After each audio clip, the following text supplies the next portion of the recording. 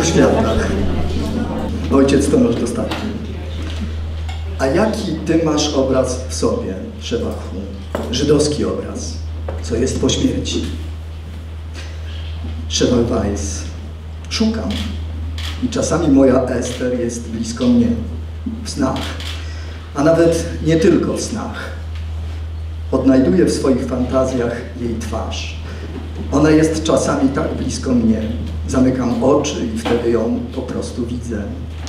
Przyjaciele mówią, ty, racjonalny człowiek, co z tobą? Szewach, jej nie ma. Ja to wiem. I to jest najgorsze. Wracając do Boga, była za młoda na śmierć. Dlaczego ona umarła? Dlaczego nie ja? Ja przecież też jestem chory. Dlaczego mnie się udało i udaje się żyć jeszcze dzień, dwa, rok, półtora, a jej nie? Nie wiem. Dlaczego? To są zasadnicze pytania. Przy tej okazji chciałem coś powiedzieć, czego jeszcze nigdy nikomu nie powiedziałem. Ale to będzie w tej książce i kiedyś moja córka, mój syn, moja wnuczka. Ja tego jeszcze po hebrajsku nie powiedziałem, ale kiedyś trzeba. Po śmierci Ester, gdybym miał żyć raz jeszcze, ja dałbym jej o wiele wspanialsze życie. Ona miała ze mną piękne życie, ale nie byłem w porządku. Wiesz, jednak taki człowiek popularny jak ja. Żyliśmy razem 50 lat. Wiesz, jakaś zdrada, taka dziwna, niepotrzebna, nie za duża, ale taka, niepotrzebna. Znaczy, ja bym nigdy w życiu nie popełnił grzechu. Teraz kocham ją po śmierci jeszcze bardziej niż za życia, a bardzo ją kochałem. I mówią, że co Bóg związał, to jest wiecznie. To nie jest łatwa sprawa, ale to jest bardzo głębokie. Po jej śmierci jeszcze lepiej rozumiem, co znaczy rodzina.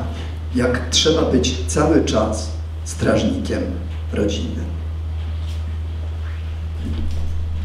Dziękujemy Witku. Witam, witam Państwa. Dziękuję za tak liczne przybycie w tak zacnym gronie. Także jesteśmy w znakomitym towarzystwie, także dzięki gościom, którzy tutaj obok mnie siedzą.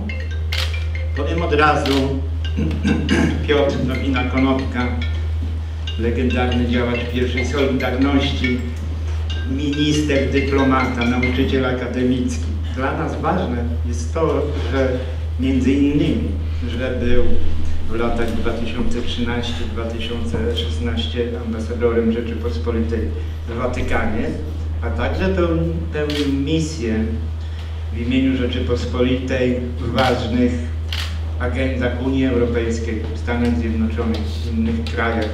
Jego e, życiorys to życiorys niezwykłej postaci. E, obok Tomasz Dostatni, znany nam Dominikanin, który przez 20 lat pełnił misję w Lublinie, potem za sprawą tajemnych okoliczności porzucił nas i osierocił, ale bardzo teraz jesteśmy mu wdzięczni, że będąc w interiorze Roztocza zawitał tutaj. I jest to bardzo ważna postać, dlatego że zawsze współtworzył klimat dialogu i ekumenizmu w szerokim tego słowa znaczeniu. Tomasz Pietrasiewicz, dyrektor ośrodka Brama Grodzka TNN, w którym się znajdujemy, ale ważniejsze od funkcji dyrektora jest to, że jest założycielem tego ośrodka i kreatorem jego wizji programowej, dzięki której, dzięki dokonaniom ośrodka jest to ośrodek znany w całym świecie ze swojej misji myślenia, dbania, rejestracji pamięci, w tym pamięci o Holokauście. Pretekst tego spotkania i przypomnienie pewnego wydarzenia z, sprzed 13 lat to jest książka y, napisana wspólnie, jak patrzę teraz na okładkę, przez Szebaka Weissa i Tomasza Dostatniego, czyli rozmowa Tomasza e, e, z Szewakiem, Szewachem w dwóch światach, która okazała się dzięki przychylności wydawnictwa Zyski Spółka w 2010 roku. A teraz jest wznowiona. Pretekst, który, na, na, który nie mamy wpływu, ale te preteksty zawsze się pojawiają, to jest śmierć Szeba Hawajsa. On zmarł 3 lutego tego roku w Tel Awiwie. I to dzięki temu, nie dzięki temu, tylko chcemy przywołać jego pamięć i barwność tej osoby, specyfikę, jego, jej szczególność dla Polski relacji e, polsko-izraelskich, chrześcijańsko-judaistycznych, dla myślenia o naszej przeszłości i, i przyszłości. Ja dodam tylko, Państwu nie trzeba tego e, wyjaśniać, że Szewak Weiss jest postacią pod każdym względem niezwykłą. Urodził się w Borysławie w 1935 roku i tam przeżył Holokaust dzięki pomocy rodzin ukraińskich i polskich. Potem przez południową Polskę wyjechał do, do Palestyny, zrobił ogromną, wielką karierę jako polityk, jako nauczyciel akademicki, między innymi współtwórca Katedry Mediów, do tego jest taką osobą też medialną. I wybitny polityk, który potrafił łączyć e, różne frakcje e, polityczne Izraela, wykorzystując między innymi te, te swoje polskie, borysławskie e, korzenie. Dla nas jest bardzo ważne i to jest tutaj istotne, że w latach 2000-2003 był ambasadorem Izraela w Polsce, a od 2000 roku przez wiele lat był dyrektorem przewodniczącym Rady Programowej Instytutu Yad Vashem.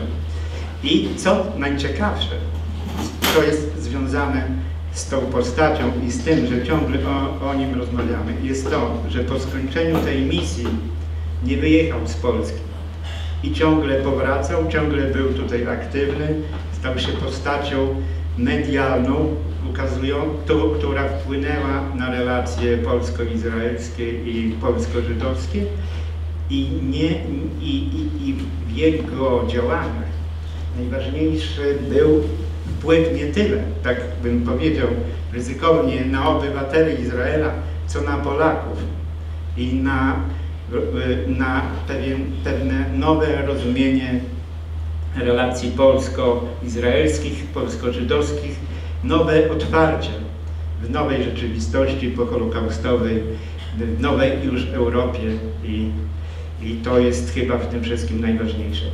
No, jeżeli człowiek odchodzi, to zawsze pamięć o nim zmienia się i blaknie. Inne pewne elementy się pojawiają, o których się z reguły nie pamiętało, widząc go na co dzień. Czasami w pamięci zostaje twarz, czasami w pamięci zostaje ubranie, czasami w pamięci zostaje głos, czasami w pamięci zostaje jakieś zdarzenie, które nieoczekiwanie teraz wypływa na wierzch tej, tych osadów pamięci. Więc chciałem zapytać drogich naszych gości, jakie pierwsze, jakie pierwsze powidoki wywołuje imię i nazwisko Szewach Weiss. Oczywiście rozumiemy, że, że mamy też na myśli to, że w perspektywie Państwo zabiorą, zabiorą głos na koniec naszego spotkania, więc proszę o taką trzyminutową dyscyplinę wypowiedzi. To prosiłbym Pana Ambasadora. Dziękuję bardzo Grzegorzu. E, ubiegł mnie, to nie było uzgodnione, Witek Dąbrowski, czytając urywek tej książki, do którego to właśnie urywku i tej całej sprawie się chciałem odnieść w pytaniu o moje powidoki. Ja rzeczywiście miałem okazję w ciągu mojej drogi życiowej spotkać kilkasetek dyplomatów, członków różnych parlamentów z całego świata, polityków, ludzi, którzy no, zwykle niosą taką maskę na twarzy, która ich ma chronić, ma chronić ich prywatność, ma chronić ich e, intymność, E, Na zewnątrz ma być widać tylko tę figurę męża politycznego, twardziela, który emocje trzyma na wodze. I kiedy czytałem tą książkę już dobrych parę lat temu, to mnie uderzyło coś, co mi uświadomiło, że to było widać u Szewacha. Ja go poznałem, widzieliśmy się, nie wiem, z 10 razy. Także to nie jest znajomość, którą mógłbym w tej chwili e, wywoływać. Ale to mi wystarcza, bo lektura tych pasusów książki, które dzisiaj Witek nam odczytał, one mi uświadomiły, że to było coś specyficznego dla Szewacha. Proszę mi pokazać polityka najwyższego szczebla. Szef Knesetu to jest wiceprezydent państwa. Ambasadora. Szefa takiej instytucji jak Yad Vashem. Który by w ten sposób mówił o swojej żonie. Ta książka Tomku to w, w religii e, judaistycznej nie ma instytucji spowiedzi. A to by się udało wytworzyć taką sytuację, która by była waszą wzajemną spowiedzią. Na szczęście bez tajemnicy spowiedzi. I to, co wyznaje ci Szewach w sprawie Ester, mnie to szalenie poruszyło. Dlatego, że to pokazuje inną twarz polityka, inną twarz dyplomaty, niewidoczną zwykle. I wtedy człowiek sobie czasem zadaje pytanie, czy w ogóle istnieje ta druga twarz. Taka twarz, która potrafi taką miłością mówić o własnej żonie. Ja myślę, że to jest ten powidok, i dziękuję Witkowi za przeczytanie tego, tego fragmentu. Jak mówię, to było dla mnie zaskoczenie, no ale Havel, Sułafata i, i i też urywki mogą się zdarzyć. Tyle chciałem powiedzieć. Dziękuję. Tomaszu. Co jest takim powidokiem Szewacha Weissa, to za moment. Grzegorz przedstawił w kilku zdaniach jego historię, biografię, drogę. Ja za chwilę też powiem o okolicznościach powstania tej książki. Ale wydaje mi się, że to, co bardzo wielu ludzi w Polsce, on był bardzo znany, był showmanem, występował w telewizji na różnych większych, mniejszych wykładach, ale wydaje mi się, że to, co przejdzie do historii, z Szewachem Weissem w Polsce, to jest jedno zdanie i jedna myśl, którą wypowiedział w Jedwabnem przy prezydencie Kwaśniewskim i przy odsłanianiu tego pomnika. On to zaimprowizował. Nie miał nic napisane. Mówił chyba jako drugi czy jako trzeci. Powiedział, a ja znałem inne stodoły. I to jest właśnie to, co mnie się wydaje, że Y, pomimo całego jego dorobku, bardzo licznego, wydał wiele książek. W tych książkach wiele razy swoje życie powtarza, ale właśnie to zdanie, że stojąc w miejscu, gdzie płonęła stodoła z Żydami, podpalona przez Polaków, a on powiedział, a ja znałem inne stodoły. I mówił o sobie. On przeżył wojnę nie tyle w stodole, co w piwnicy, i wydaje mi się, że to jest jedna, jedna myśl, jedno zdanie, które dla mnie, ale nie tylko, dla mnie pozostanie po prostu po bardzo owocnym, wielkim życiu Szewacha Weissa. Piotr mówił o wytworzeniu sytuacji, którą można by nazwać jakąś osobistą, czy nawet spowiedzią. Y, pomysł tej książki pochodzi od moich i Szewacha przyjaciół Anny i Piotra Felkelów Y, którzy wpadli na pomysł, żeby zestawić Szewacha i mnie. Zaprosili do swojego domu nad y, Wartą, bardzo pięknego domu. Y, ta książka powstała i była nagrywana tam, w tym domu, w kontekście rodzinnym, w okolicach 1 listopada. I taki był kontekst.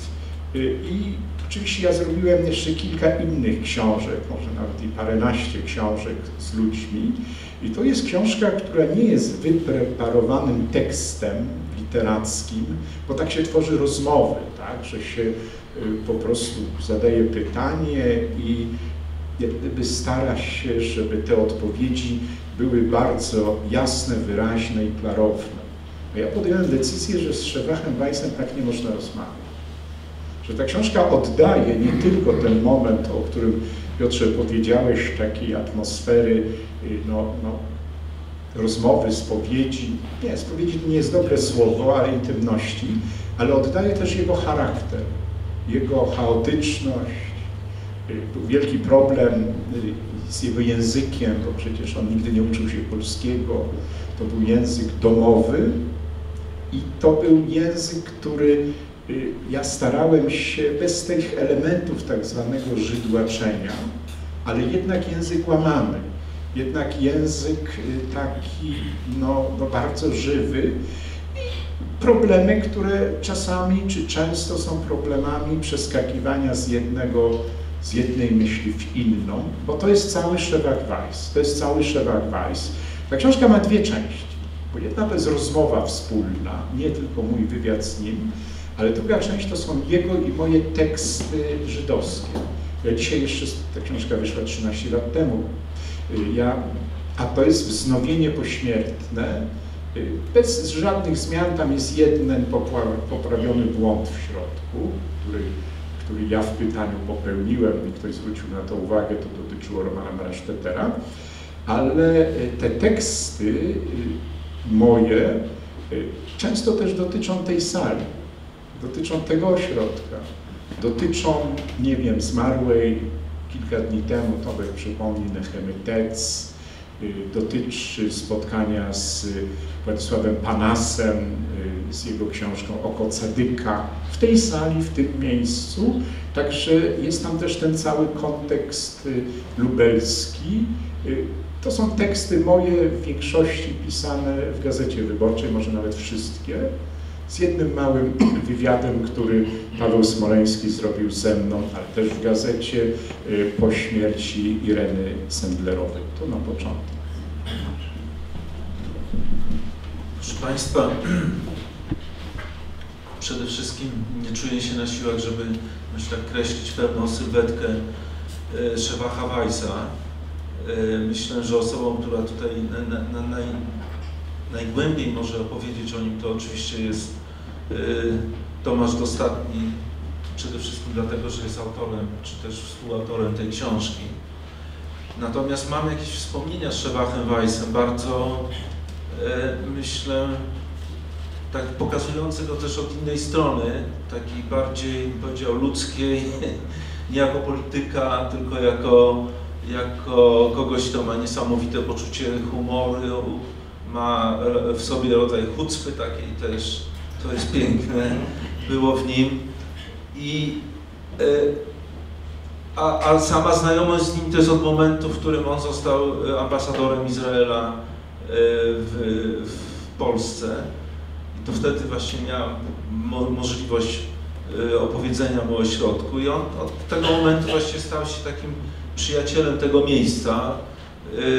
Wiele razy był tutaj w bramie to nie były jakieś spotkania z nim, tylko prywatne jego, zazwyczaj jakieś decyzje szybko podejmował, gdzieś jest blisko Lublina, przyjeżdża, e, spotyka się. E, I raz była taka ciekawa historia, e, kiedy jeszcze szeroka była tutaj i jeden z kelnerów z przyszedł do mnie i mówi, słuchaj, czytam, proszę pana, tu jakiś, y, był godzinę temu taki facet, wariat jakiś mówił, że jest ambasadorem Izraela i że chce się z Panem spotkać.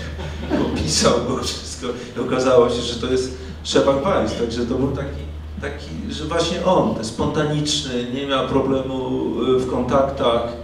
E, ja takiego go zapamiętałem właśnie. I to, że bardzo cenił to, co ro, robiliśmy, wiedział o tym dużo, e, pamiętał.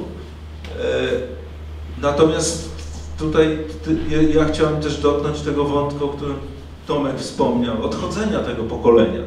No, słuchajcie, myśmy mieli jeszcze szczęście poznać ludzi, którzy otarli się o e, zagładę, wyszli z tej zagłady, ocaleli i, i o tym.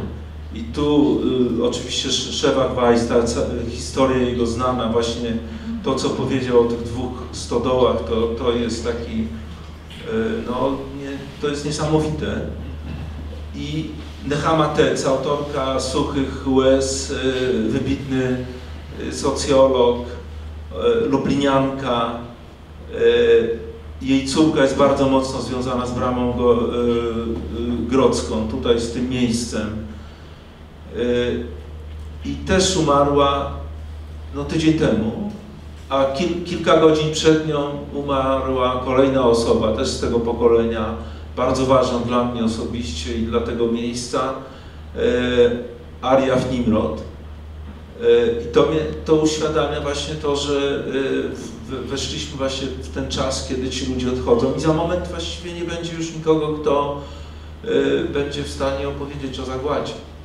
Dlatego to jest tak ważne zdążyć jeszcze zrobić z nimi wywiady, zarejestrować ich e, opo, opo, opowieść. To, co tutaj gdzieś to, to, Tomek e, zrobił, bo przecież to, że Szewach Weiss był taki, a nie inny, to myślę, że w dużej mierze e, jego ukształtowało to, co się wydarzyło w czasie wojny, w czasie zagłady. Dziękuję. Dziękuję. To może jeszcze byśmy Tomaszu, drogi ojcze, wrócili do tej książki, która jest tu nicią łączącą te nasze rozmowy. No właśnie, teraz z perspektywy 13 lat od y, pierwszego wydania tej książki, teraz po, po tych faktach, o, tu, o których Tomasz mówi, odchodzeniu tego pokolenia, y, i, i, przy pewnej dynamice relacji polsko-izraelskich, które się bardzo ciekawie e, zmieniają i wchodzą w różne zawirowania, ale też w inne konteksty. Chciałem Cię zapytać, czy, czy, czy teraz zapytałbyś Szeba Hawajsa jeszcze o coś, o co nie przyszło Ci do głowy zapytać, albo uważałeś, że to może jest nieważne wtedy. Czy z tej perspektywy widzisz potencjał tej osoby i rozmowy z nim na tematy, które już rozpływają się, bo, bo nie ma tej osoby? Może nie zapytałeś o coś, o co byś chciał teraz zapytać. Znaczy powiem tak, że ta książka jest efektem wielu godzin. Ja nawet dzisiaj nie, nie potrafiłbym, ponieważ się przeprowadzałem po 20 latach stąd do Szczecina, nie potrafiłbym odnaleźć y, maszynopisów czy wydruków, y, które były przeze mnie skracane. Tam było wiele, wiele jeszcze innych y, wątków. Może kiedy rozpakuję, bo to ciągle jest nierozpakowane, po tych trzech latach, może bym wydobył jeszcze z tego, co wtedy żeśmy rozmawiali. Ale y, powiem szczerze, że Szewak, to co wspomniałem, on wydał kilka książek y, autobiograficznych. I ja chciałem z nim tak rozmawiać, żeby nie pozwolić mu wydać kolejnej książki, żeby powtarzać to, co on już mówił sześć razy. Y, I dlatego zacząłem tę książkę y, chwilę po śmierci jego żony i po zawale serca, który on dostał w samolocie. I zacząłem rozmawiać o sercu. Czym jest to serce? Y, On był bardzo przejęty, dlatego że z, to tam jest w tej książce, że z samolotu go karetka pogotowia zabrała do szpitala. I on wtedy też pokazywał różne wymiary serca.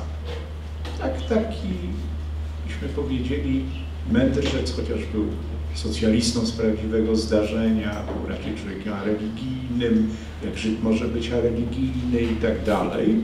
To jest jedna rzecz. A potem chciałem doprowadzić doprowadzałem do, nie że do zderzenia, ale do przenikania właśnie tak jak jest tytuł dwóch światów. Przecież mnie z nim dzieliło 30, rocznica 30 lat życia.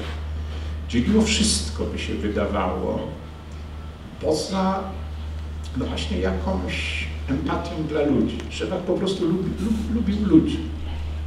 To każdy z nas, każdy z Państwa, który się zetknął, tu jeszcze też z nim była promocja tej książki. Część z Państwa, może nawet większość, żeście wtedy byli na tej, na tej pro, promocji. Tomek Grakowski ją prowadził. I, wracając do tego pytania, czy o coś jeszcze bym zapytał, nie wiem, bo ja chciałem przedstawić jak gdyby jego obraz, ale też y, porozmawiać z nim tak, jak wydawało mi się, że nikt inny nie porozmawia. O Mesjaszu, o mm, jego właśnie rodzinie, którą znałem. Tam jest takie przepiękne zdjęcie, jeśli Państwo pamiętają, z 59 roku jego żony w mundurze żołnierza. I on ją poznał, ona była Miss Armii Izraela. To nie jest tak jak dzisiaj Miss w jakimś bikini występująca gdzieś na jakimś, przepraszam, wybiegu, ale po prostu to jest piękna kobieta i potem 10 lat później, 10 lat później, 20 lat później, tam są zdjęcia. Ja ją poznałem. Ja poznałem Ester, jak on był ambasadorem. I właśnie to, co, na co Piotr zwrócił uwagę, tak? on zupełnie otwarcie opowiadał o tej relacji, o miłości.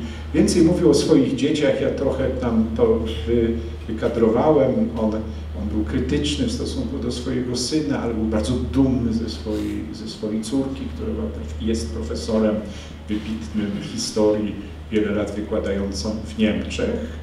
Y, ale też chciałem jak gdyby pokazywać no właśnie jego miłość do Polski, jego miłość do Polski.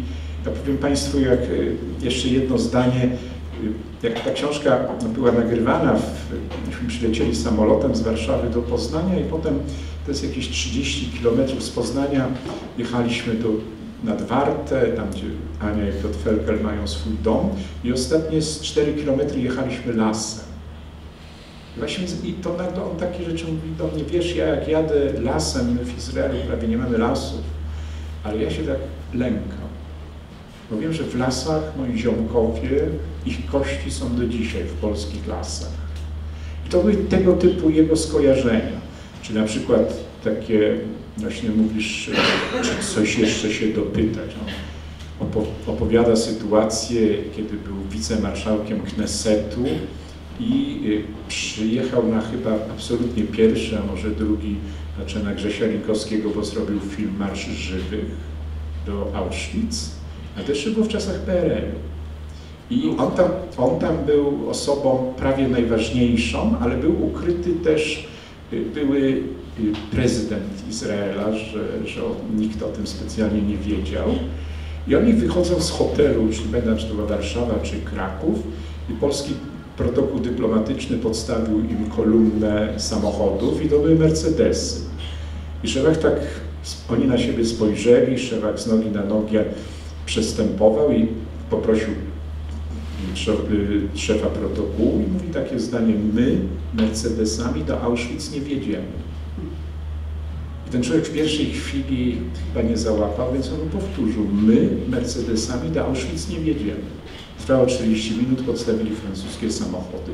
To pokazywało, to pokazywało pewną wrażliwość człowieka, który był dzieckiem Holokaustu. Tak?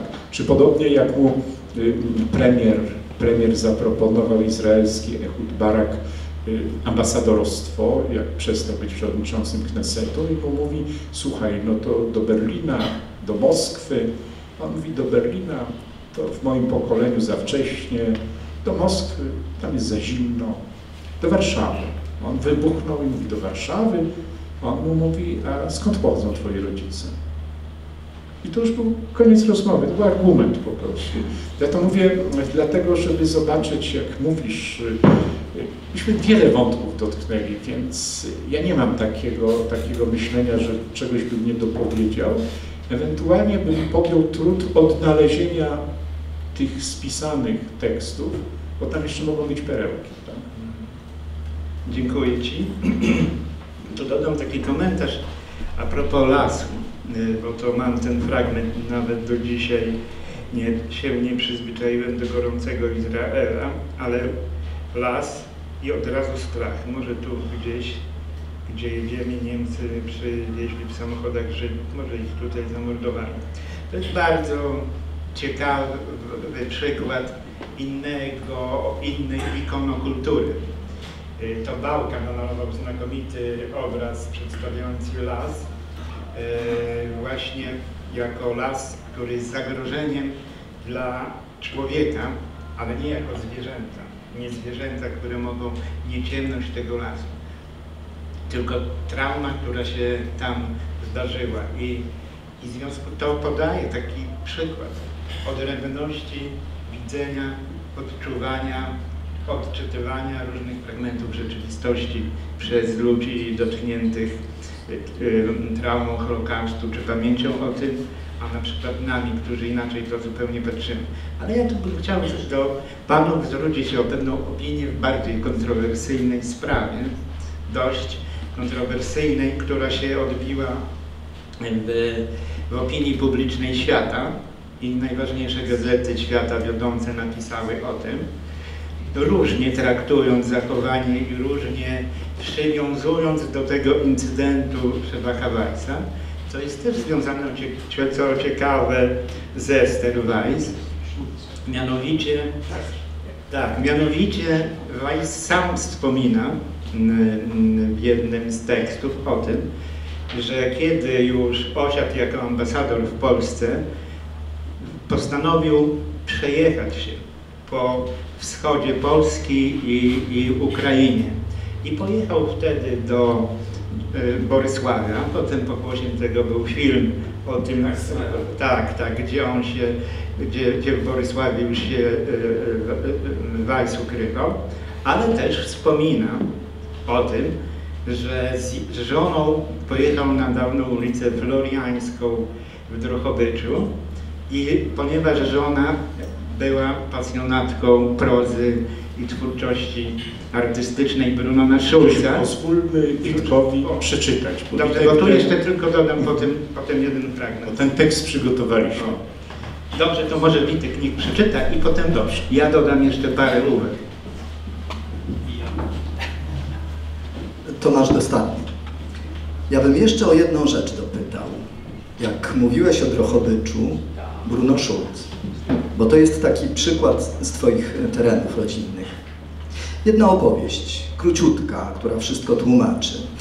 Kiedy ktoś z Yad Vashem kupił freski Brunona Schulza i zdjął je z tej ściany willi Landała, to nie była willa Landała, bo Landau, Niemiec z Austrii, ukradł tę willę.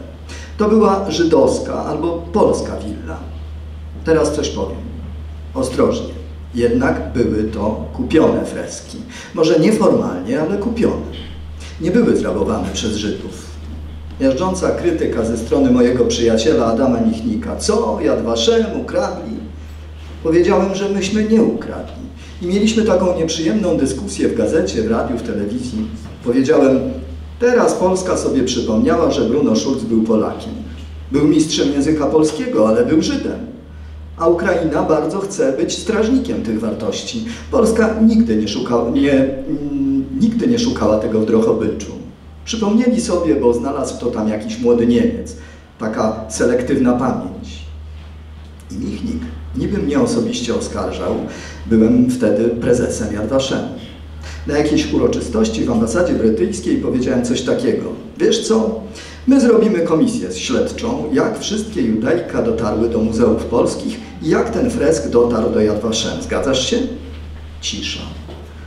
Podchodzi do nas ambasador Ukrainy, poeta, bardzo miły, inteligentny człowiek, którego spotykamy na tych spotkaniach w Sejnach i mówi, że to trzeba zbadać. Tak, tak. Ojciec Tomasz dostał. I znów Szewak Weiss. Znałem go, gdyż przyjechał z delegacją ukraińską do Knesetu razem z prezydentem Krawczukiem, mówiącym po polsku, bo pochodzi z Kołomyi.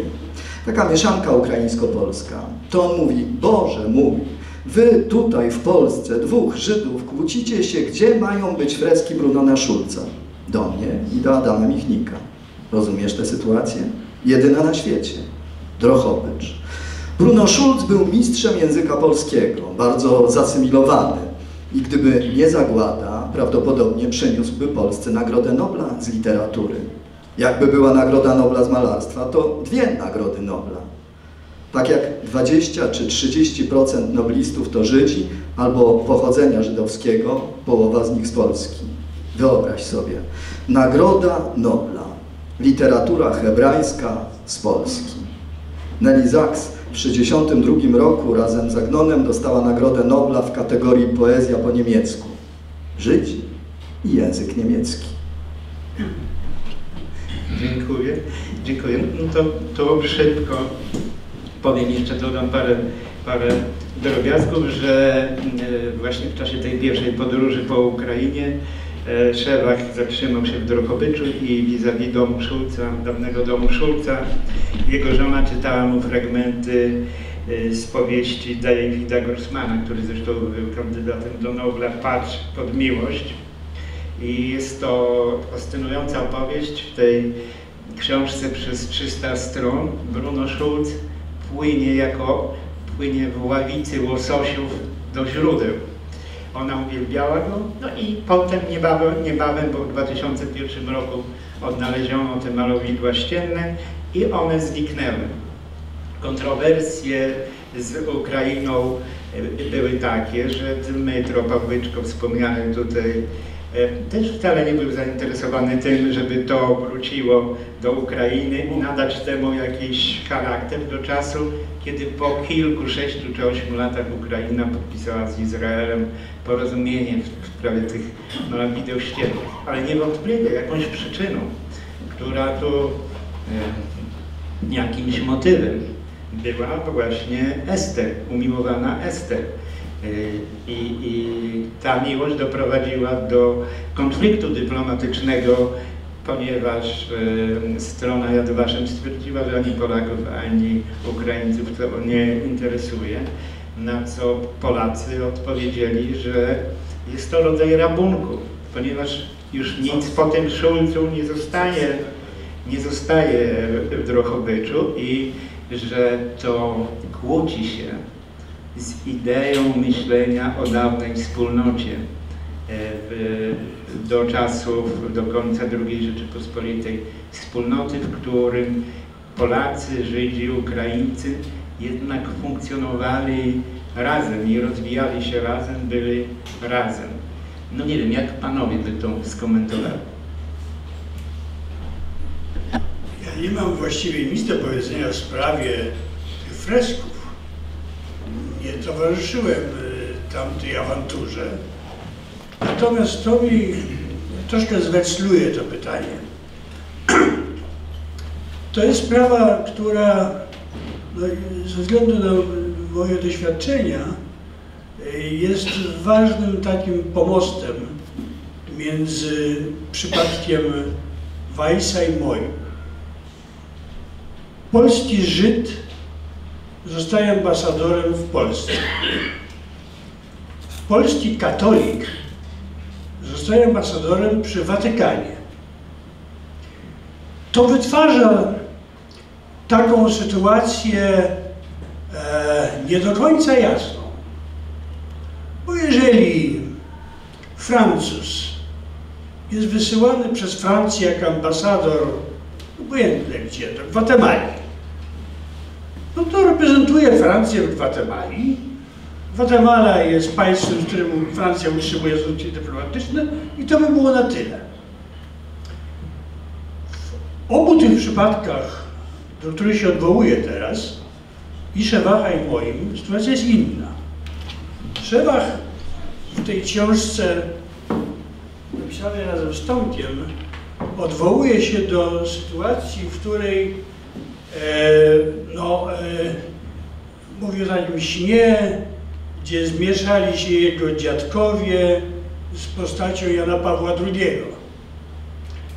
I e, jest dużo symboli w stosunkach polsko-żydowskich.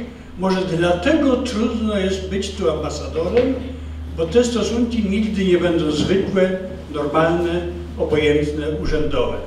Zawsze będą nadzwyczajne, albo bardzo dobre, albo bardzo złe, ale zawsze pełne symboli i emocji. I teraz proszę sobie wyobrazić, e, ten Żyd z Borysławia, który przeszedł przez to wszystko, przez co przeszedł, wybiera sam ambasadę w Warszawie. No przecież wiedział, w co wchodzi. Zna także ciężar, no jeszcze może nie fresków Bruno Szulca, ale w każdym razie inne kłopotliwe konteksty, z którymi się będzie musiał zmierzyć jako Żyd, który ambasadoruje w Polsce. Żyd z Polski. Prodomosuła powiedziałbym, że e, wprawdzie w zasadzie jest przyjęte, że ambasadorami przy Stolicy Apostolskiej są katolicy, a w tym razie chrześcijanie, a w tym razie wierzący, ale to nie jest żelazna reguła i obaj znamy i przyjaźnimy się z takim czeskim ambasadorem, który mówił, że on nigdy nie był uszczony. Piękna postać, bardzo, bardzo go oboje z Wandą, moją żoną, kochaliśmy. Był świetnym ambasadorem. Otóż to nie jest tak, że można kompletnie rozdzielić, kiedy się ambasadoruje przy stolicy apostolskiej, że ja jestem przedstawicielem Rzeczpospolitej i amen. No nie tylko. No jednak jestem także katolikiem. Krzewach, przedstawiciel dyplomatyczny Izraela, ale jednak no, urodzony w Polsce i z polską całą tą taką historyczną genetyką. To jest kwestia znalezienia sposobu na lojalność, tak żeby nie zdradzić jednego ani drugiego. I to bywa niełatwe. Myślę, że Szewachowi się to udało, chociaż budził emocje, pamiętamy to. Było wiele jego wypowiedzi, które zostały zapamiętane jako, Tomek mówi o chucpie, no jak zwał, tak zwał. W razie były takie e, zgrzyt po szybie. Myślę, że to jest sztuka, ale proszę sobie też wyobrazić, jaka to jest przygoda, żeby musieć przez te lata ambasadorowania no, znaleźć ten taki punkt równowagi. Co ma przeważyć w sytuacjach, kiedy muszę dokonać jakiegoś wyboru?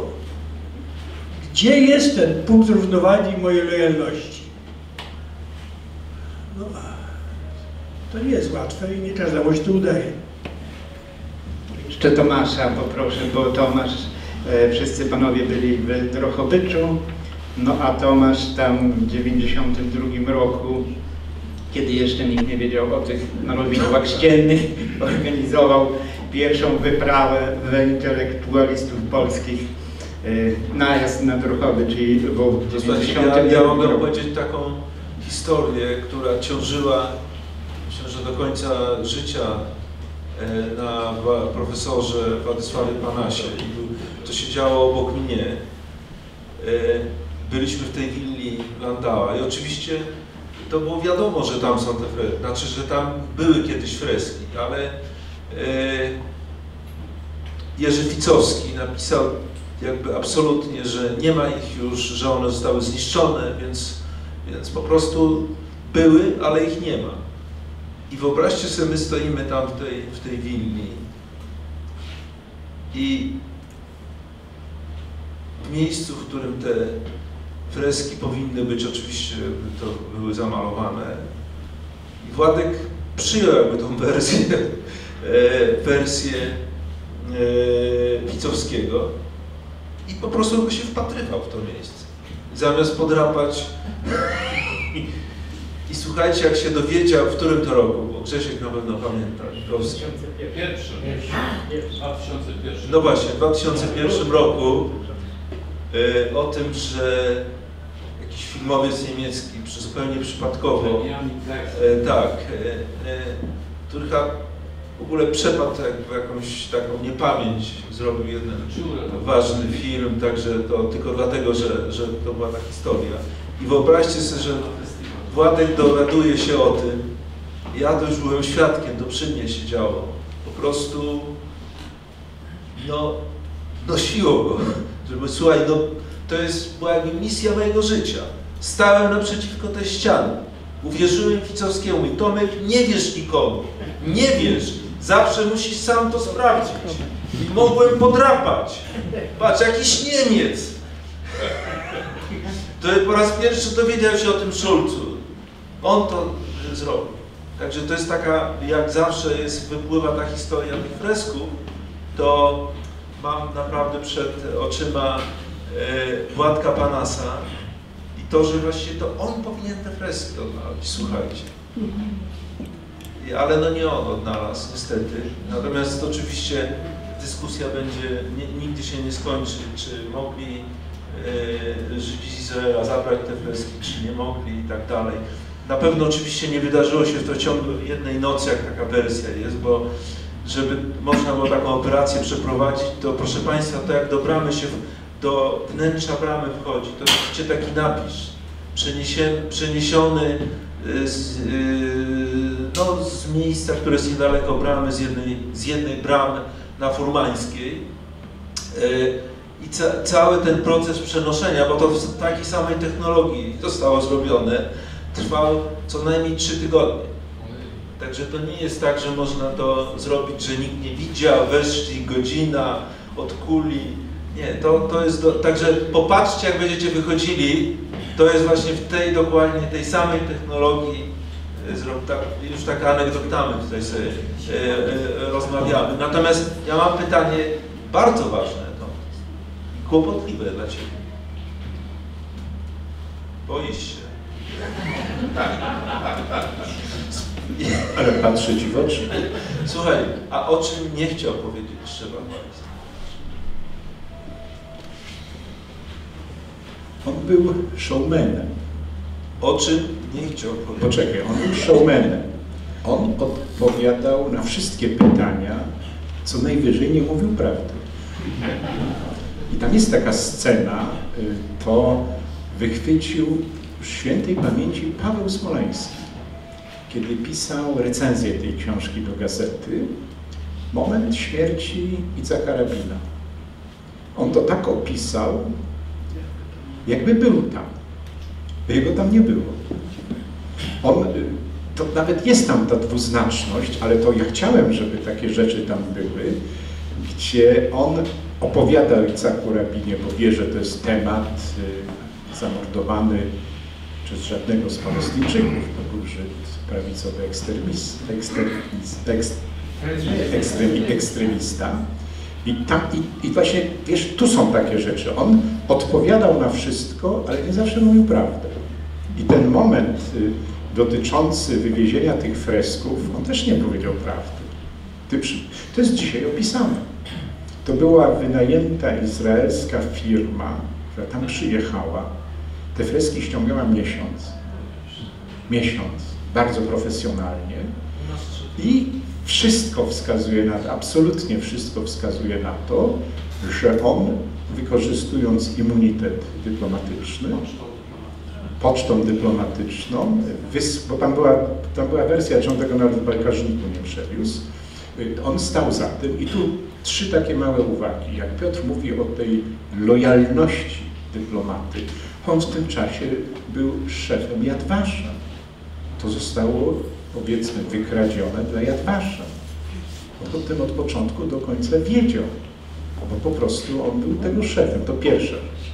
Druga, ja, ja, ja dlatego go chciałem rozdrażnić y, jak on wspomniał o Adamu, Adamie Michniku, bo Adam Michnik jest rodzinnie związany z Drohobyczem. I Grzesiu pamięta, jak pierwszy raz przyjechał, jak był wzruszony, dlatego że Adam się urodził po wojnie, ale jego mama uczyła w szkole w Drohobyczu, ponieważ była komunistką, to nie mogła uczyć w żadnej państwowej szkole i uczyła w szkole prywatnej Galicyjski. galicyjskiej i uczyła w tej samej szkole, w której również miał Gimnazjum. zajęcia w gimnazjum, w której miał również zajęcia Bruno Schulz. On uczył w państwowym gimnazjum. Y, I dlatego on, on, oni byli, on, no, trochę można powiedzieć, rodakami. Jakby z tego samego terenu, chociaż Adam bezpośrednio się nie urodził, urodził się w Warszawie po wojnie. Jeszcze jedna uwaga, jak Grzesiu wspomniał, ja zacząłem, wspomniał o tym lesie i o tym lesie jako takim kontekście y, zagłady Holokaustu, to ja dzisiaj nie mogę inaczej czytać tych tekstów i, i słów Szewacha Weissa, jak w kontekście granicy polsko-białoruskiej.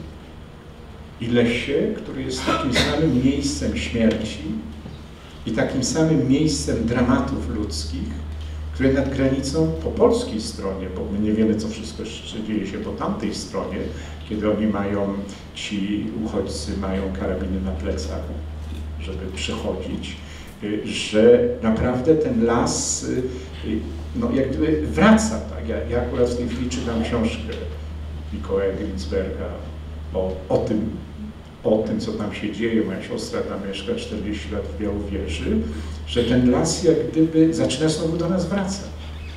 Czy nam się to podoba, czy nam się to nie podoba, to jest kilkadziesiąt osób, które już tam zginęły. Jest lista w tej książce Ginsberga z imienia i z nazwiska, plus wiele nazwisk NN. Stąd o tym lesie. Tak, dziękuję. Tak, tak, to bardzo, bardzo ważne. A chciałem zapytać może troszkę tak jeszcze, zanim Państwu damy głos i, i z prośbą o pytania, czy może mm, e, pewien fenomen e, e, jako showmana Szewacha Weissa wziął się też z jego stylu narracji, z jego takiego stylu, który przypomina dawnego rabina, który jest gotowy uzasadnić prawie każdą wersję stosownie do pewnych okoliczności. Opowiedzieć o świecie tak, jak, jak okoliczności y, y, y, wymuszają na nim, żeby być w tym świecie do pewnych granic y, w zgodzie, czyli być lojalnym wobec tego świata i móc tak jakby prowadzić taką narrację bez, bez gra, be, niemalże bez granic e, e, e, konfliktu. Tomasz, mo, może ty czytasz, No nie, powiedz, bo ty masz wielu przyjaciół żydowskich, którzy, e, e, którzy są autorami literatury wspomnieniowej albo się do niej odnoszą. Mm, Czym oni się różnią od Weissa? Czy to jest to ta sama grupa myślenia żydowskiego, czy coś innego? Czy jak właśnie jest jakiś rodzaj mądrości, powiem Wam, w tych, w tych ludziach. Jakiś jest taki typ Żydów, którzy mają w sobie jakąś taką wrodzoną mądrość, może to się buduje przez pokolenia. I tutaj zapomniałem powiedzieć, a to jest dlatego wrócę do tego wątku, którego, który dotknąłem na początku o odchodzeniu. Taką ważną postacią było też Grigori Kanowicz i on umarł w tym roku.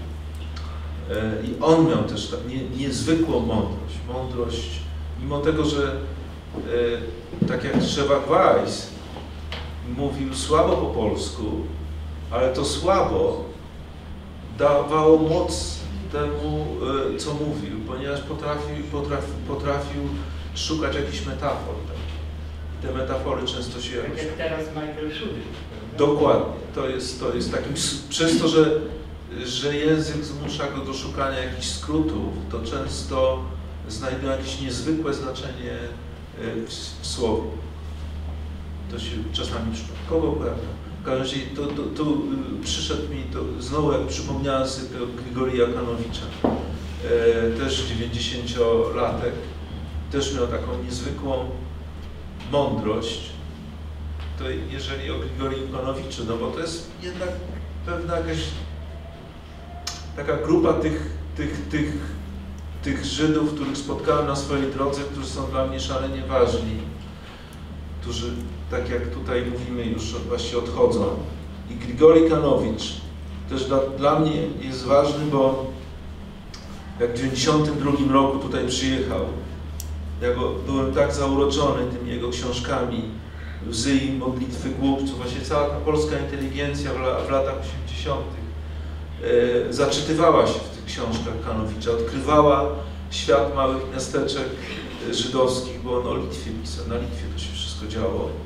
I słuchajcie, on, on, a to był dopiero początek bramy tego, co tu się działo, i on powiedział coś takiego, że są, są artyści, którzy próbują opisać cały świat, a nie potrafią powiedzieć na to słowo. A są tacy, którzy opadają o jednym domu na ulicy i opadają o całym świecie. I mówi, to jest właśnie tutaj. A to było, to było takiego rozpoznanie niesamowite i dlatego on, on z, z, zawsze był mi bardzo bliski. Jedno z przedstawień to właściwie oparte na, na, na, na prozie Kanowicza zostało stworzone. Także to jest, no, miałem po prostu szczęście takich ludzi spotkać i, i intuicyjnie wiem o co chodzi, natomiast często trudno mi jakby mówić o tym. Ale, ale jest coś charakterystycznego w żydowskiej kulturze chyba, że są tacy ludzie znakomici, tacy rabini.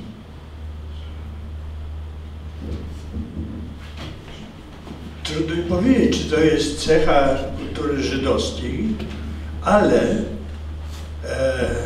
czy udziałem wszystkich z Państwa była wizyta w tutejszym Imaginarium, gdzie byliśmy wczoraj, w Teatrze Imaginarium. Ja myślałem, że dotkniesz tego, dlatego że ta opowieść, którą snujesz w tych piwnicach, to jest właśnie taki przykład takiej mądrości opowieści.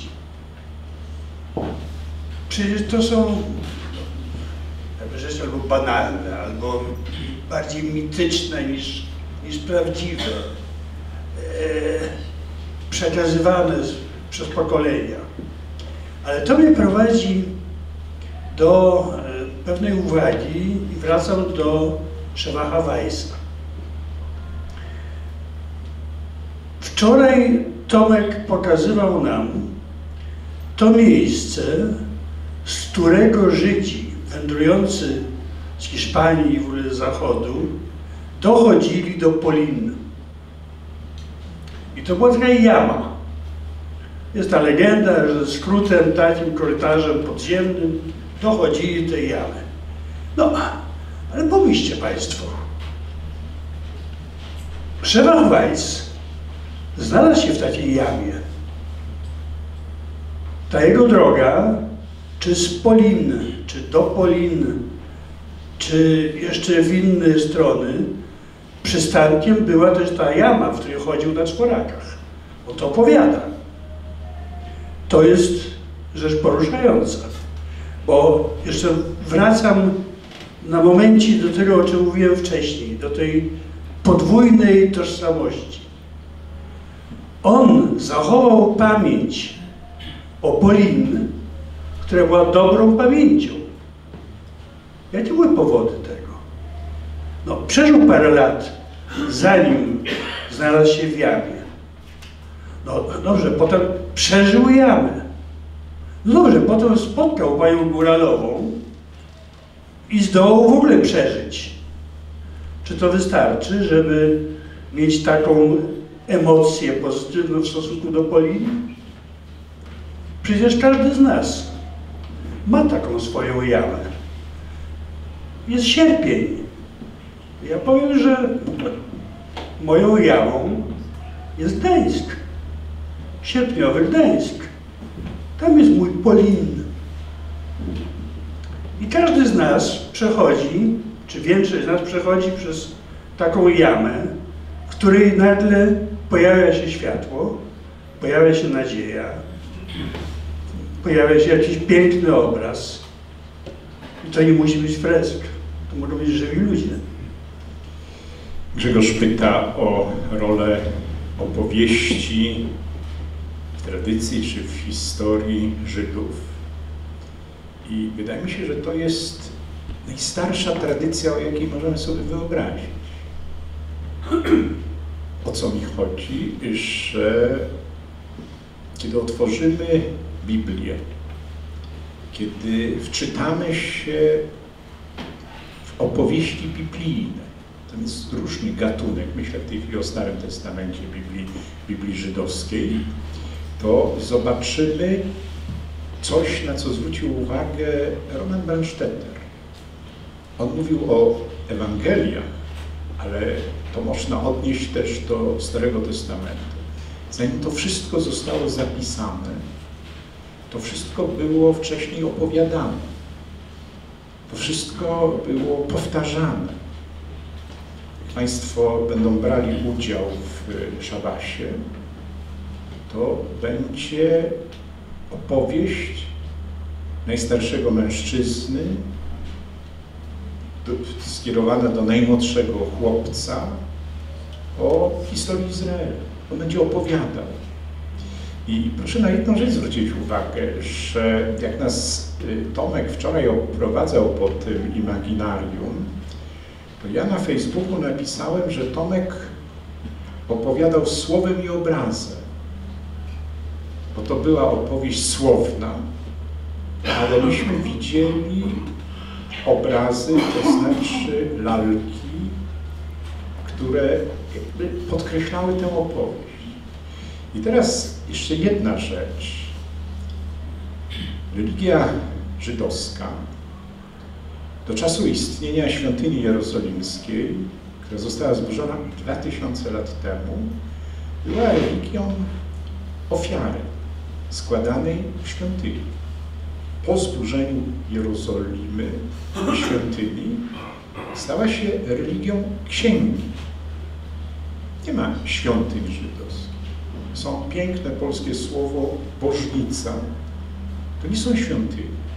To są domy słowa. I to przesunięcie, czyli znowu opowieść, która była na początku, jest częścią historii i tożsamości żydowskiej. Stąd, nie wiem, no, opowieści Hasydów, na przykład Martina Bubera, ale te, ta w tej książce jest taka, jest taka, taki mój tekst, który, który taki felieton, był też w Gazecie Wyborczej, chociaż nie pamiętam, pokazywałem właśnie rolę i znaczenie opowieści w tradycji żydowskiej i opowieści na pustyni egipskiej pierwszych mnichów chrześcijańskich żyjących IV, V, VI wieku. Się nazywa apoftegmaty ojców pustyni. To jest coś bardzo podobnego do opowieści Hasydów. W ogóle Hasydzi, czyli, czyli znowu opowieść, tak, spisana, ale i w tym znaczeniu, wiesz Grzesiu. Grzesiu, czy możemy... Witka. Witek jest jeszcze. Czy można przeczytać to o żydowskiej matce jeszcze? 78-79 strona, bo to jeszcze coś dopełni, a potem Grzesiu będzie prowadził rozmowę z Państwem. Żydowska matka. Mamy przepiękną piosenkę. Idy Szemamy. Śpiew. Idy Szemamy. Żydowska matka jest jak każda matka. Matka, która cały czas jest oparciem dla swojej rodziny i swoich dzieci. Podczas zagłady, podczas nieszczęść, to jest matka, która należy do narodu wędrującego. Czasami dziecko, mając 18 lat, wyjeżdża daleko i ona go już nigdy nie zobaczy. Jest w Palestynie i pisze do niej listy.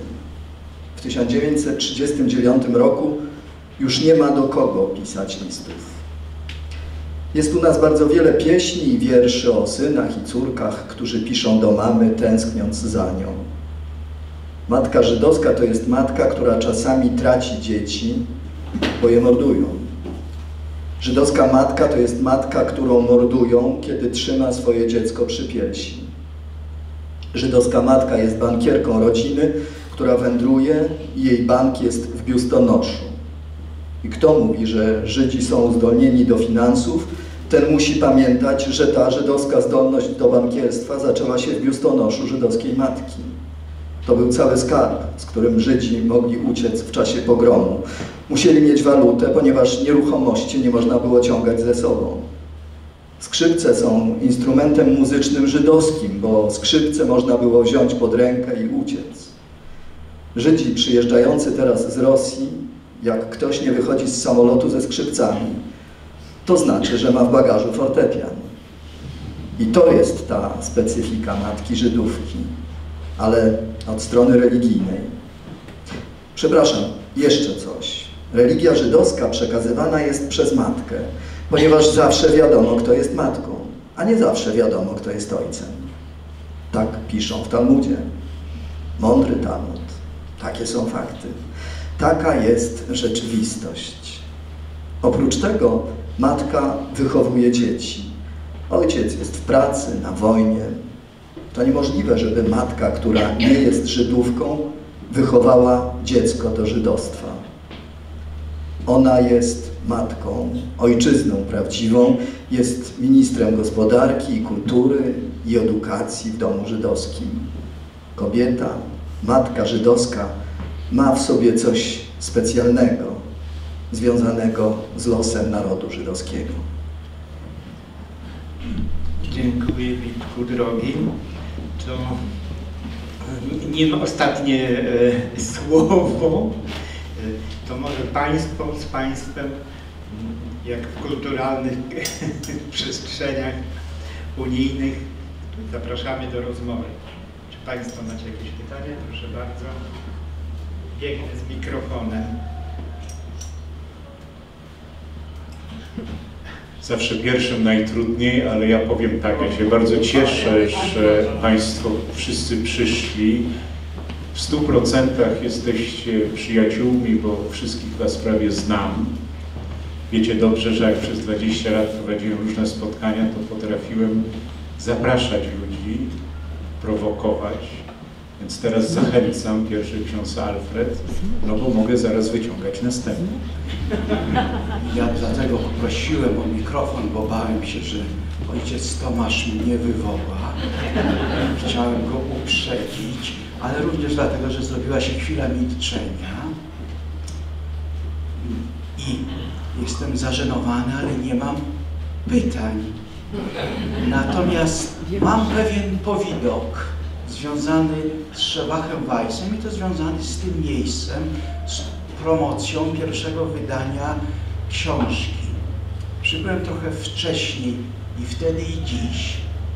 I Tomku, gdzie to mogło być? On siedział gdzieś nie u Ciebie w gabinecie, bo to byłoby za wysoko, a Ty nie masz gabinetu nawet, więc nie wiem, a może w Hadesie siedział? Ja podszedłem, do, bo wcześniej się już y, spotkaliśmy może dwa, trzy razy i przyniosłem książkę i poprosiłem o dedykację. I on chciał pisać po polsku. Ja mówię, ja nie chcę po polsku. Proszę mi napisać po hebrajsku. I do dzisiaj nie wiem, co mi napisał. To jest ten sekret, który mi pozostawił Szewak Weiss. Dokładnie to, co chciałam. To ja tak bliziutko koło... Trzeba do mikrofonu, Ewa, bo to się na też wszystko się jakoś nagrywa dla tej pamięci opowieści. E, Dziękuję. E, Ewa Zielińska. Mam pytanie takie do e, ojca Tomasza o miłość Szewacha Weissa do Polski.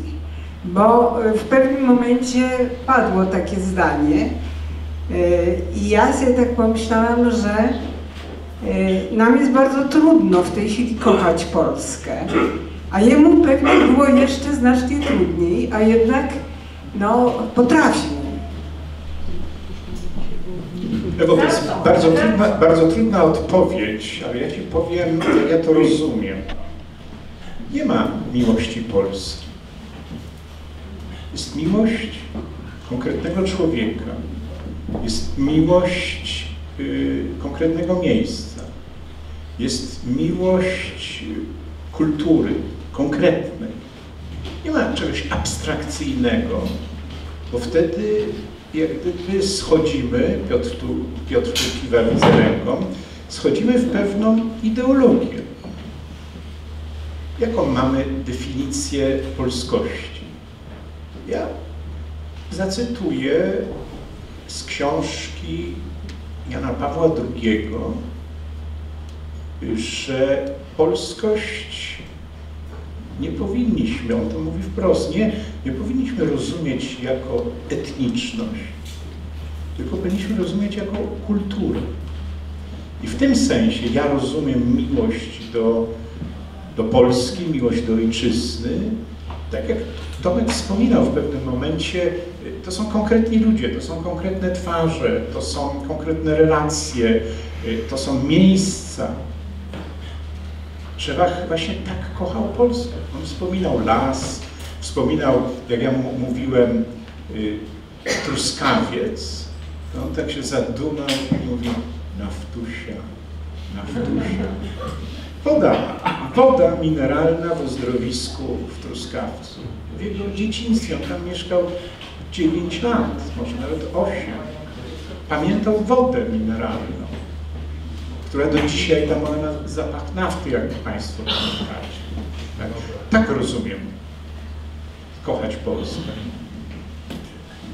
Panie Ewo, ja myślę, że miłość jest zjawiskiem subiektywnym, co oznacza, że nie mam zaufania do kogoś, kto mówi, że on kocha taką obiektywnie istniejącą Polskę. Ja kocham moją Polskę. To, co przedtem powiedziałem o Poliny. Każdy ma swoje Poliny. To oczywiście to jest sprawa kultury, to jest sprawa ludzi, to jest sprawa zapachu, różne, różne rzeczy. Jeżeli dzisiaj mamy trudność z kochaniem Polski, to mamy trudność z kochaniem tej obiektywnej Polski, takiej, którą się opisuje za pomocą paragrafów czy dzienników telewizyjnych. Ale mamy dalej prawo kochać, nawet być dumni z tej Polski, która w nas funkcjonuje jako nasze, że posłużę się tym słowem, poliny. Do tego mamy prawo, a może nawet mamy obowiązek pewnej czułości i dbałości o to. To jest trudne. I pytanie o to, czy Weiss kochał Polskę, to powiedziałbym właśnie, że on kochał swój Polin, ten subiektywny. Wystarczy tylko jedno słowo powtórzyć za Czesławem Miłoszem, Dolina Issy. To wszystko się nam otwiera. No ja, y, proszę, kto z Państwa? To, o,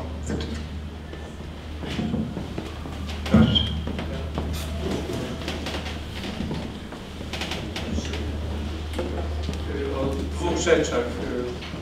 Pierwsze to Tomku, ty jesteś, y, lubisz brylować w towarzystwie. Być pierwszym. y, Ale to o tobie, o tobie. Trzech Tomasz. Y, Ale mm, Dziękuję za komplement. Ale, ja chcę Ci podziękować za to, że w, tej, w tym wywiadzie jesteś niezwykle dyskretny, ascetyczny. I to jest ogromna wartość tej książki, że Ty Szymonowi Wajsowi dałeś, Szewachowi Wajsowi dałeś y, możliwość y, y, y, powiedzenia. To jest jedna rzecz. I to jest ogromna wartość dla mnie tej książki. Druga to jest... to nie wiem, czy to jest miłość, ale ja jednak w tej książce odnajduję coś, co nazwałbym patriotyzmem. To znaczy ja czytając tę książkę gdzieś 10 czy 12 lat temu, jednak odbierałem, że to jest patriota żydowski, ale jednocześnie jest to patriota polski. Ale jest to przede wszystkim inteligent. który patriotyzm wyraża głębokiej myśli o Polsce, o jej racjach, o jej żywotnych interesach. Myślę, że to jest szczególnie dzisiaj niezwykle istotne, kiedy jesteśmy jakby spychani na margines myślenia racjonalnego o Polsce, a ciągle tylko buzują emocje. I myślę, że warto w tej książce właśnie odnajdywać takie, bym powiedział, soki mądrości o sprawach polskich. I że, że to do nas mówi, to jak mówi już drugi Tomek, człowiek mądry. Tak? To jest przede wszystkim człowiek mądry, który poprzez swoje doświadczenie, ale jednak jakąś głęboką sympatię, taką, taką swoją tożsamość polską, mówi o sprawach polskich.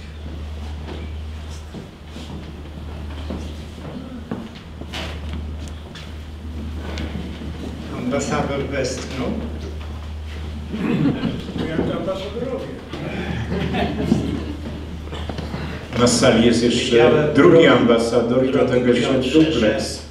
Że, będę musiał zmierzyć się z Twoim doświadczeniem, ale nie oczekuj ode mnie polemiki, ponieważ jak wiesz, jest pewna solidarność, nawet między ambasadorami emerytami. E, ale powiem troszeczkę właśnie o e, e, ambasadorze panie. Może to trzeba dopowiedzieć, że przede wszystkim to był ambasador nominowany. To nie był zawodowy dyplomata. Państwo wiecie, to jest właściwie tradycja amerykańska. Tylko, że w Ameryce zostaje się ambasadorem, ponieważ się daje pieniądze na kampanię wyborczą. No, pani Mosbacher jest takim przykładem. E, Natomiast on był e, ze względu na swoje doświadczenie i zasługi dla państwa Izrael.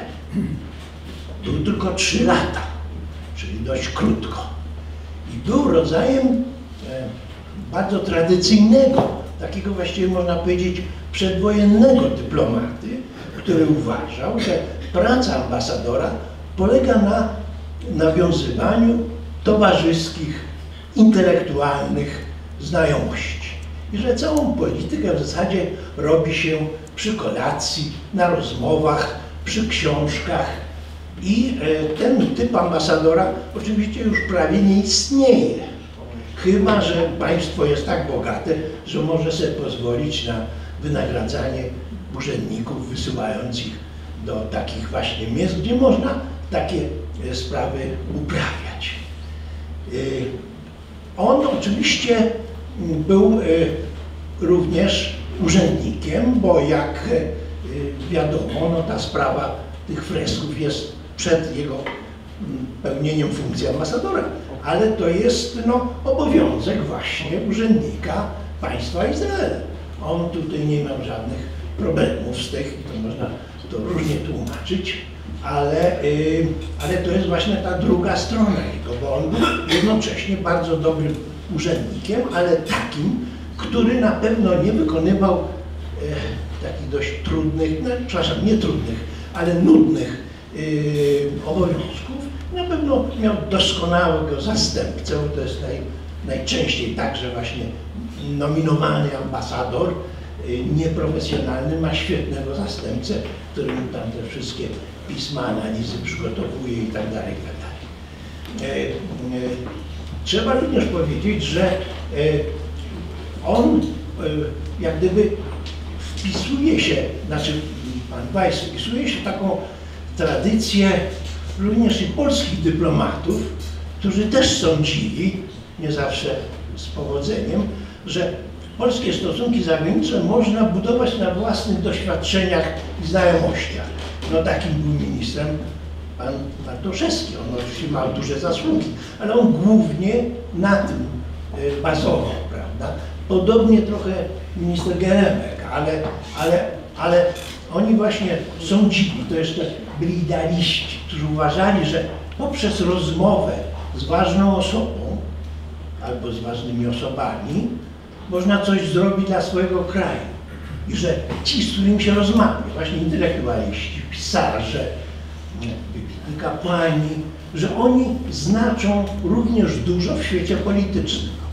No myślę, że Weiss nie bardzo w to wierzył już, bo inni też nie bardzo w to wierzyli, ale to było to przekonanie jeszcze no takie tradycyjne, przedwojenne, tak jak kiedyś to byli arystokraci, którzy uważali, że przecież można budować politykę zagraniczną niższą, ponieważ się ma kuzynów w, całym, w całej Europie.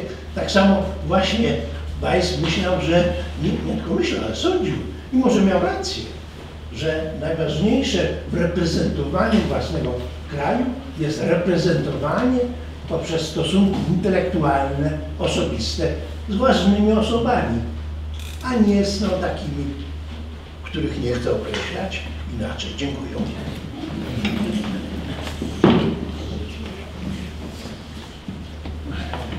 Proszę Państwa, chciałby jeszcze się Janowicz. Chciałem skierować takie dość intymne pytanie do ojca Tomasza. E, Dwa światy. E, Świat Szymacha Weissa i ojca Tomasza. E, W tym świecie jest religia. Szymach Weiss ma szczególny stosunek do religii. I jak wyglądały Wasze rozmowy o religii? W tej książce rozmawiamy o Mesjaszu.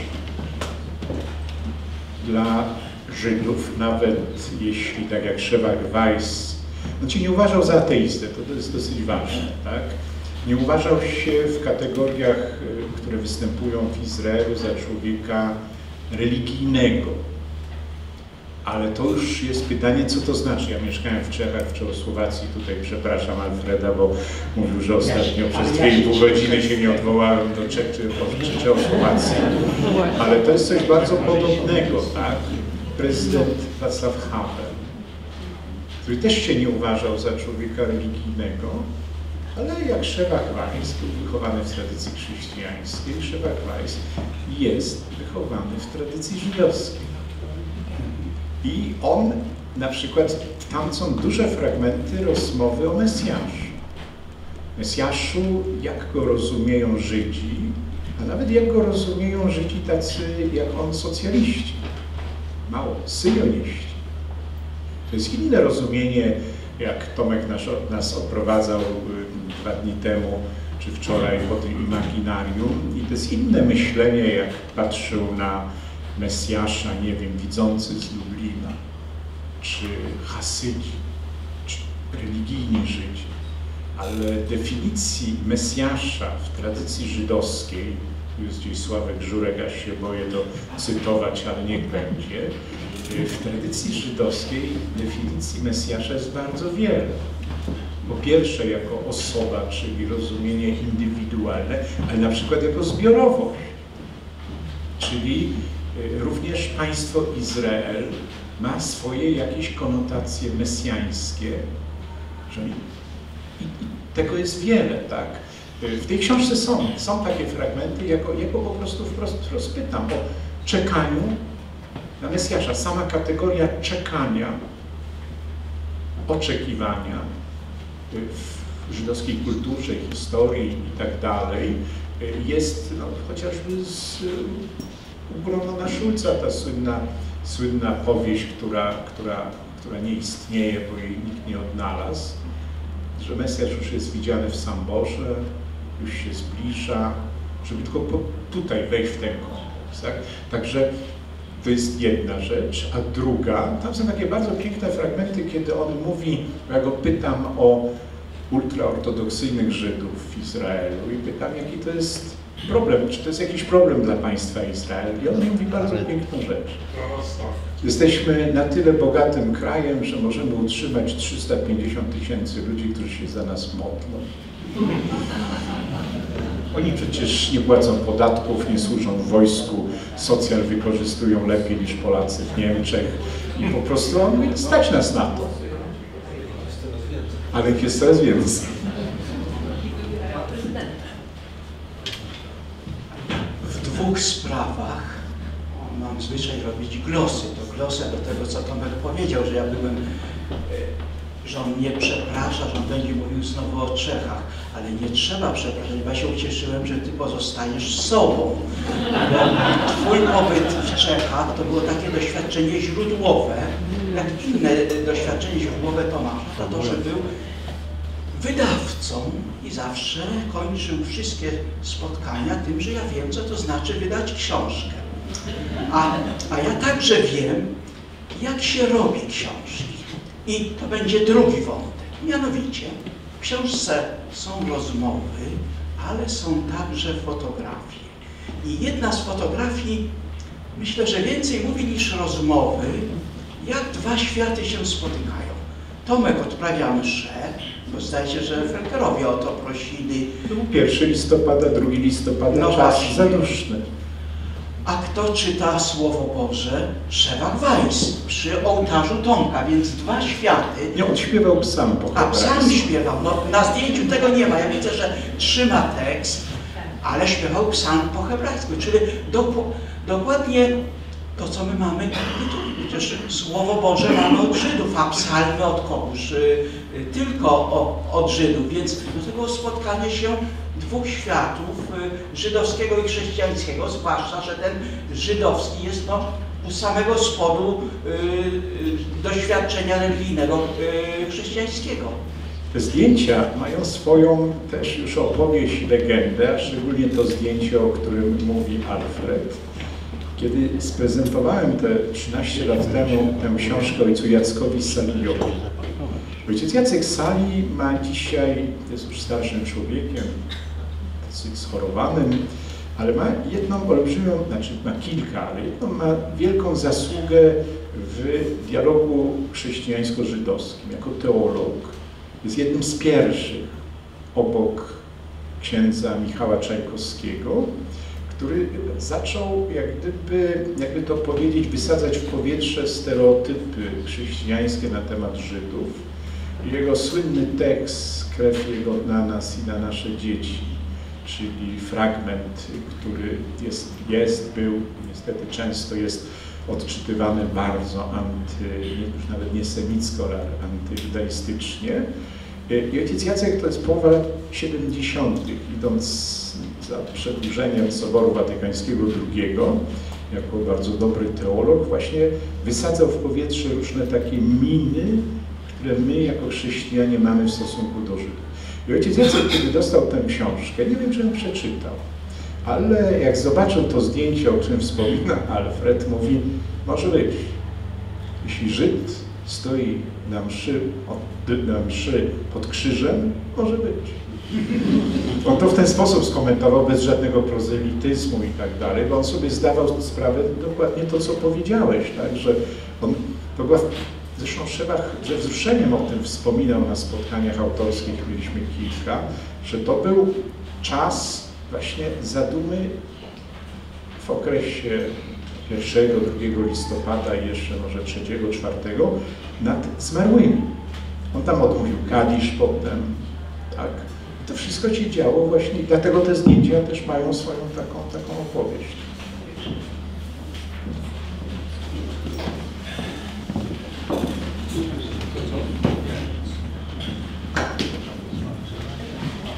Dziękuję bardzo. Ja spotkałem się z Sherlockiem Weissem. To nie dla mnie był mikrofon. Nie, Nie, nie, nie, dobrze, dobrze. To zaraz potem pan. wątek zdjęć, dlatego tu się domagam, bo już na pierwsze moje pytanie e, już była odpowiedź, bo było e, Alfred już zadał to pytanie, e, Elżbieta Żurek. Natomiast właśnie a propos zdjęć, jaki, jaki, czy jakaś idea, jakiś zamysł kierował tym, jak, które, jakie zdjęcia zostały umieszczone, bo przeglądam książkę i co kilka stron jest właściwie to samo zdjęcie, tylko inne ujęcie.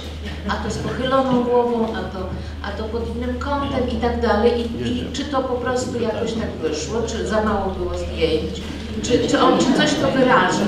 Tak, wyraża, to są bardzo piękne portrety Szawacha Weissa. Tak, ale w tych samych okolicznościach. Co, tu mi to jest jego twarz. Zauważ, to jest Nie jego tylko twarz. Nie, no bo są też z odległości pewnej. No ale z pewnej to jest, z pewnej to już jest pewna historia. On tam, tam jest pewna historia, ale kilka jest zdjęć bardzo blisko zrobionych jego, jego twarzy. I zdjęcia, ja nie chcę, bo to w kontekście jak gdyby y, tej książki to słowo zabyt, czy, czy tego tematu y, brzmi bardzo dramatycznie, ale tak jak książkę się konstruuje, czy wywiad i zdjęcia, to dokonuje się, przepraszam, ale wyboru, czy trzeba użyć tego słowa, No selekcji. Tych zdjęć było znowu bardzo dużo. Są Tego tu nie widać. Natomiast jest też ojciec dostatni na stronie 7 64 i w tej samej odległości na stronie 71 przy tym stoliku, tylko troszeczkę pod innym kątem. nie jest przy tym stoliku, To, tylko... to jest bardzo popularny A ja Ci powiem dlaczego na 64, bo to jest rok mojego urodzenia. To pokazuje, że zarówno, e, zarówno Szewak Weiss, Weiss, jak i e, Tomasz Dostatni są bardzo ciekawymi obiektami. I to jest zgoda małżeńska, to mi się podoba. Jeśli można prezydentowi podać, bo zaczął wypowiedź. Rozmawiałem z Szebakiem Weissem kiedyś w Bristolu na jakimś spotkaniu takim przy wręczaniu nagrody chyba dobrego uczynku. Rozmowa dotyczyła polityki i etyki. Oczywiście cyniczny poli- polityk powie, że to są dwa różne porządki i nie ma o czym rozmawiać, ale to tak chyba jest jak e, anegdotyczną definicją ambasadora czy dyplomaty prasowego. Panowie ambasadorowie pewnie przyznają i znają to, to, to anegdotę. Rasowy ambasador trzy razy się zastanowi, zanim nic nie powie. E, Weiss e, i myślał, i, i, i mówił, a co najważniejsze, starał się e, budować mosty. Niezmiernie ważna sprawa między nami a Żydami w Izraelu, czy w ogóle Żydami. E, Panowie stwierdzili w tej książce, to była oczy- oczywistość, że życie nie jest czarno-białe. Taki zapis tam nawet jest, że są różne odcienie szarości. Również w kontaktach i międzyludzkich, i międzypaństwowych, zwłaszcza międzyludzkich. I ja chciałbym, nawiązując również do naszej rozmowy, mówię tutaj, spotkaliśmy się z ojcem Tomaszem w Szczebrzeszynie i mówiłem między innymi zapytany, jak wyglądała sytuacja z Żydami w okresie okupacji. Ja oczywiście tego nie pamiętam, ale e, rodzina mi opowiadała i to przekazałem. I teraz sobie przypomniałem, mam na taką książkę, że powstała książeczka wspomnieniowa Żyda, on się nazywał Izaak Bibel, który wyjechał ze Szczebrzeszyna przed wojną. Dla mnie to jest o tyle ważna sprawa, bo on się przyjaźnił z moim krewnym, z moim wujem, którego to wuja ja nie znałem, bo Bibel wyjechał do Stanów i, i żył tam jeszcze długo i napisał pod koniec życia tę książkę po angielsku. Natomiast ten mój wuj zginął w Oświęcimiu. E, Podobnie jak jego ojciec, który zginął na zamku, tutaj w Lublinie. Tak jak wielu zresztą z mojej rodziny krewnych z tamtych stron.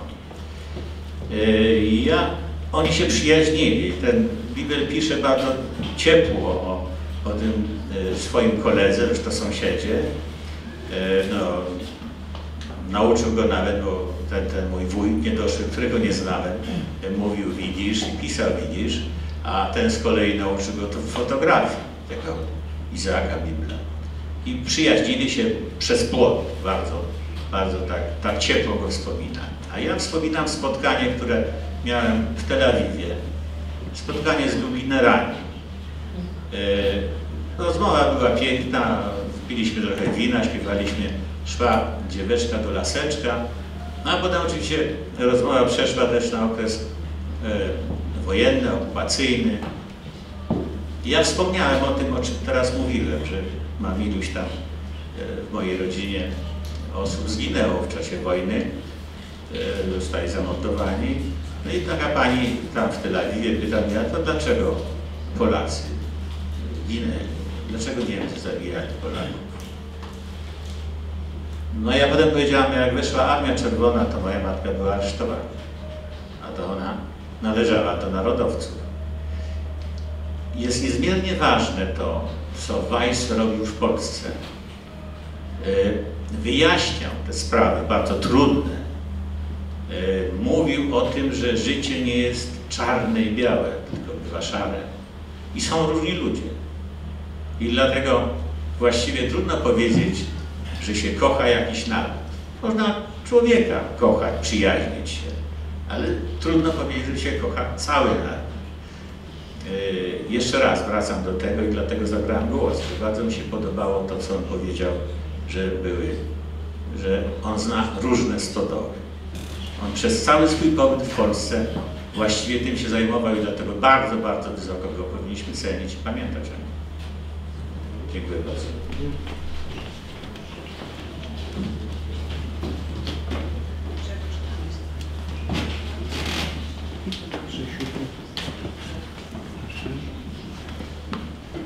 Na mnie bardzo mocne wrażenie wywarło właśnie to zdanie Szewacha Walsa o dwóch stodołach, o tej drugiej stodole.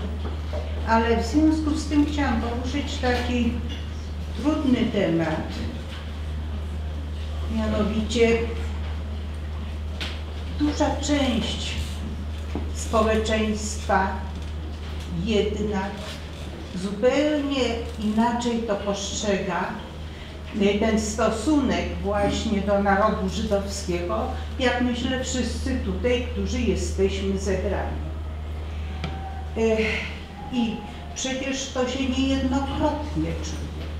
To w życiu normalnym, społecznym niejednokrotnie widać.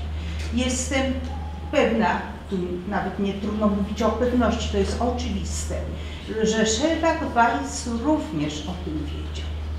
Również to czuł, czy on kiedykolwiek wypowiadał się właśnie o tym zjawisku antysemityzmu, który jednak nawet do tej pory funkcjonuje w pewnych środowiskach. Tak, jest, jest dużo jego wypowiedzi dotyczących antys, antysemityzmu, też polskiego antysemityzmu. Tylko on był człowiekiem, to jest to, co mówił prezydent Wasilewski, który, to, co Andrzej wspomniał Jaroszyński, że on sobie przyjął za swoją misję budowanie mostu. On był dzieckiem Holokaustu. On wiedział, co to jest antysemityzm. Bardzo dobrze wiedział. I on właśnie chciał budować mosty, chciał być pośrednikiem, chciał tłumaczyć jednym i drugim, że właśnie to nie jest czarno-białe. To nie jest czarno-białe. Mamy wiele postaci w Polsce, któż, osób, które miały poglądy i wyrażały poglądy antysemickie, a które w czasie II wojny światowej ratowały Żydów. To, to wielkich postaci, można je wymieniać, nie chcę. Też sytuacje ludzi bardzo prostych, to, to jest w książce Jacka Leociaka, Młyny Boże, tak, gdzie bardzo często Jacek, Jacek to podkreśla, jest człowiekiem, profesor Jacek Leociak, który naprawdę w dziedzinie kwestii historii Żydów, powstania w getcie, no, w tym kraju dokonał dużych badań. Pokazywał proste osoby, często niepiśmienne, trzeba zaraz dodać kobiety, które kiedy dziecko żydowskie, czy tu na Lubelszczyźnie, czy gdzieś indziej, zapukało, przybyło do domu, no, kobieta nie, nie wypuściła bez nakarmienia. Do tego, do czego zmierzam, że, że on po prostu chciał i w tym rozumiał, znowu odwołam się do tego, co Adam Ciechowski powiedział, on w tym rozumiał też swój patriotyzm, on był syjonistą. Był syjonistą, on budował Izrael z powodów również syjonistycznych, czyli nacjonalistycznych. Ale też widział, że Polska jest krajem, w którym po pierwsze Żydów już nie ma. Z tego zdawał sprawę. On jeździł we wszystkich, do, do wielu uroczystości. To jest trochę tak, jak Tomek dobrze wie, jak wielu Żydów przyjeżdża do Bramy Grodzkiej i, i mówi i odkrywa, że tą Bramę Grodzką wymyślili i organizują Polacy. To nie jest mniejszość żydowska, która swoją kulturę tutaj pielęgnuje, ale to Polacy nagle zrozumieli, to przecież jak się poczyta Tomka Pietrasiewicza, że jest jakaś pustka, że jest jakiś element dzisiaj ciągle no, no, no zapominania, tak? I tak, tak, tak bym to widział, tak, tak, bym, tak, bym, tak bym poszukiwał tutaj y, refleksji idącej w tą stronę. Tak, to wydaje mi się, że to byłoby podsumowanie naszego spotkania. Chciałem bardzo podziękować naszym... Tak, Tomek? ale tak, podziękuję. Tak, bo jeszcze będzie, jeszcze Tomek na koniec zabierze głos, potem ja Chciałbym jeszcze zabiorę podziękować, głos. podziękować naszym gościom, podziękować Tomaszowi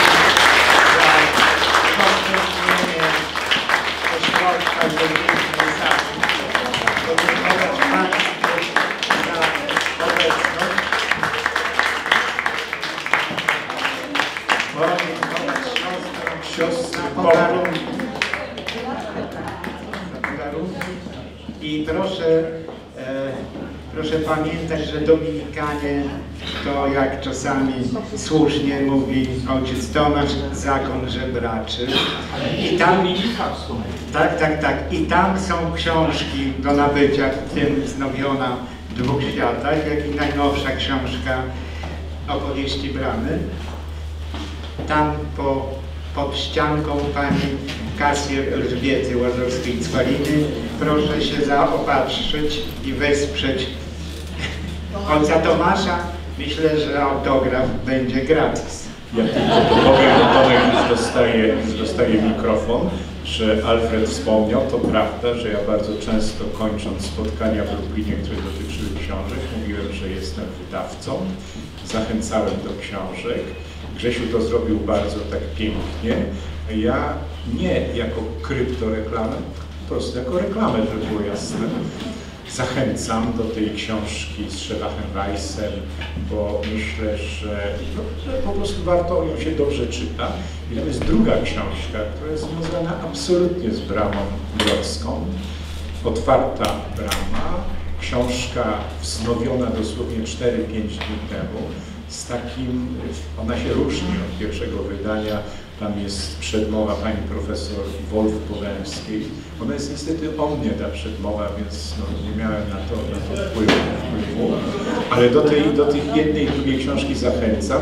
Ta druga książka jeszcze tutaj będzie pretekstem po wyborach do rozmowy o polskim kościele. Tom. Proszę Państwa, korzystając z tego, że e, dzisiaj na sali mamy tutaj Piotra e, i Tomka, e, chciałbym, to jest takie dopełnienie tego, że byli wczoraj w, w Teatrze Imaginarium. Czasami zdarza się, że, że staram się pokazać taki jakiś wyraz wdzięczności za to, że są z bramą związani, że opadają o bramie, że są tymi ambasadorami nie tylko z nominacji państwa. E, I tym dopełnieniem jest ta książka, którą chciałbym im dać w prezencie na pamiątkę tej wizyty wczoraj w Teatrze Imaginarium. To niech to będzie wyrazem wdzięczności.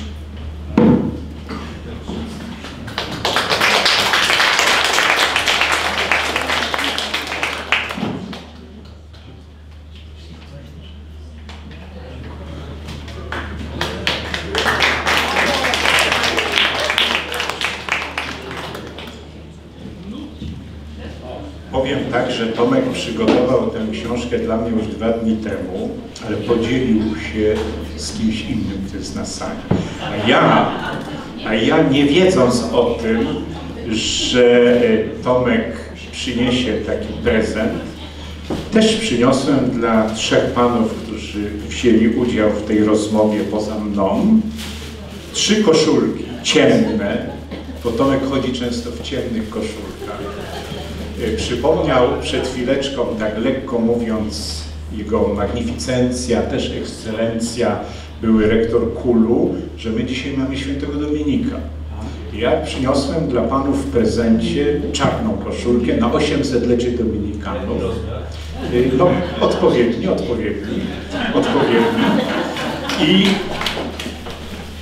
przyniosłem ją właśnie w prezencie dla wszystkich trzech panów y, i z życzeniami, żeby Brama Grodzka stała i funkcjonowała tutaj najbliższe 770 lat.